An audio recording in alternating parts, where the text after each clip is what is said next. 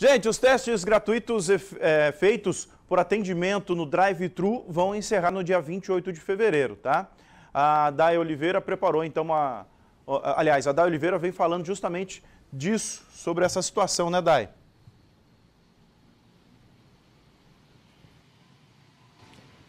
Oi, Rude, bom dia a você, bom dia a toda a audiência do TVC Agora, é isso mesmo.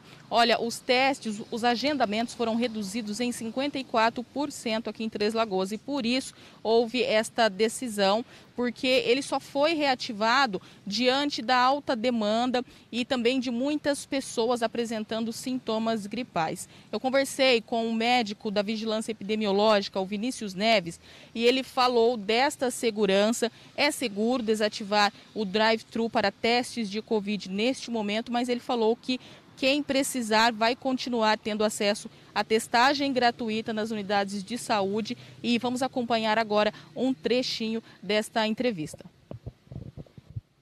Unidades de saúde que realizam, acho que hoje são 10 no município, elas continuam fazendo, né? A pessoa que tiver com sintomas, achar que pode estar com Covid, importante procurar a unidade para fazer o teste, pegar o atestado médico, enfim, todas as orientações que forem necessárias. A gente acredita que as unidades dão conta de absorver essa demanda.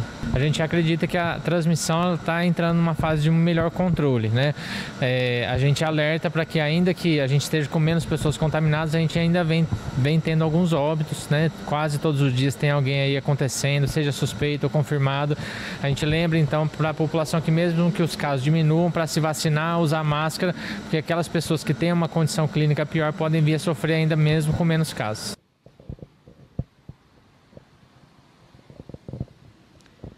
Bom, então está aí o esclarecimento para aquelas pessoas que apresentarem sintomas gripais, que estiverem sintomas de Covid-19, podem procurar as 10 unidades de saúde, vai ter acesso aí à avaliação, testagem gratuita, se assim o médico pedir o exame. Então, só não vai ser o exame drive-thru ali no corpo de bombeiros, mas para quem precisar pode procurar tranquilamente as unidades de saúde que permanecem atendendo a população e um alerta que o médico deixou também, né? Mesmo diante da queda dos casos, para todos permanecerem com os cuidados para que a situação não volte a alarmar. Então, é, como houve esta redução aqui na cidade, né, porque foi reativado excepcionalmente por conta da situação lá no início do ano, de casos alarmantes, então é totalmente seguro.